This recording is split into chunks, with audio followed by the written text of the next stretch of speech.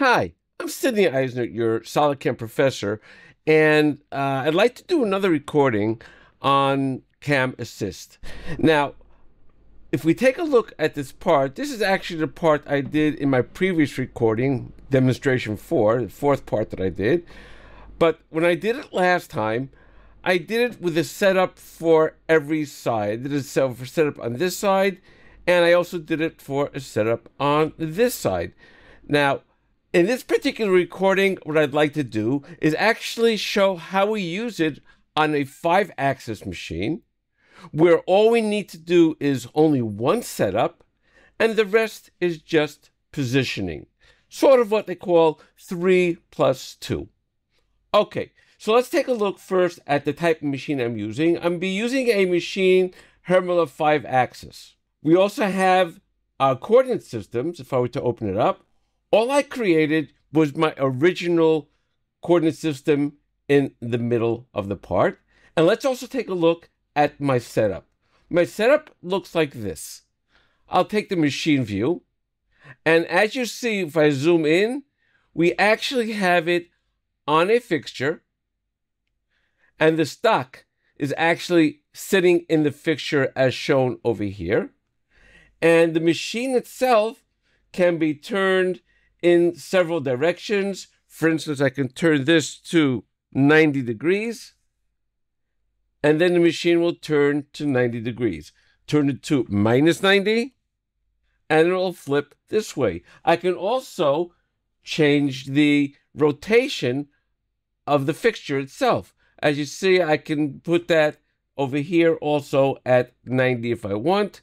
I can have it at any single way I want. So this is very good for indexial machining.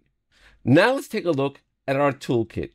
My toolkit consists of tools that are meant to work on this particular part, whether it be a face milling, uh, regular end mills, larger, smaller ones, uh, chamfer mills, some drills, and some more end mills.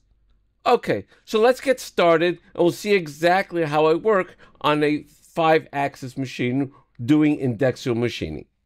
We'll start by right clicking on operation, run Cam Assist, and Cam Assist starts running and analyzes the part. And it sees my fixture, it sees exactly how my stock is. And then I can go to prepare. But before I go to prepare, there's one other aspect I'd like to point out. If we go to our left hand side, you can see we have my shop.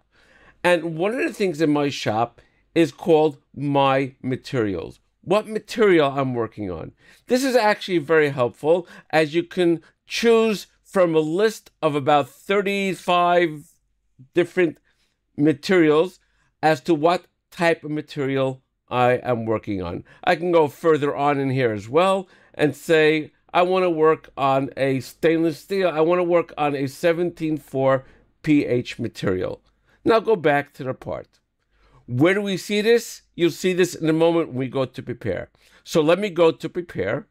And you can see on top that that material is what is being used for this project. Also, we have our three axis mode. As I said, I wanted to do it in a 3 plus 2 with indexial machining. So I'll open this up. And then we have several options over here. I like to point out automatic and user define.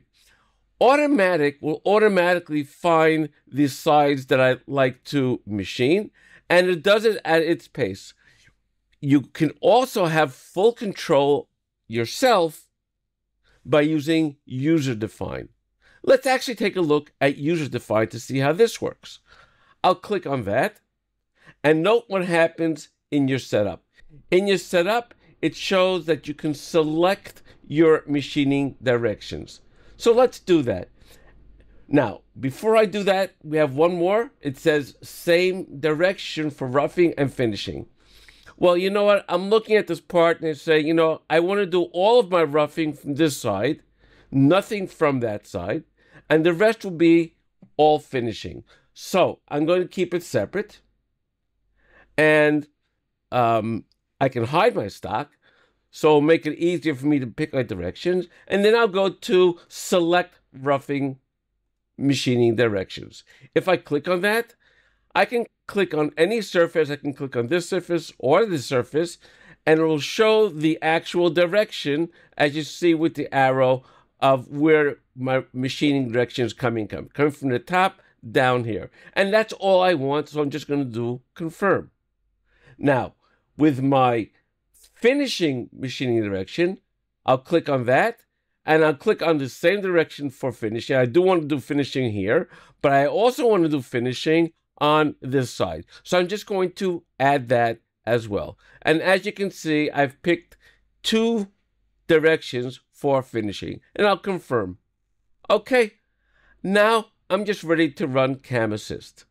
Click on that and you can see my Cam Assist is running and you can see what's being finished and what's being unfinished. Unfinished, you'll have one because the bottom cannot be finished while it's inside the fixture. Okay, we'll send it to our SolidCam package. And as you can see, all the operations are now being created, as well as Mac 1 position 2 for working on this side over here as well. I'm just going to do calculate.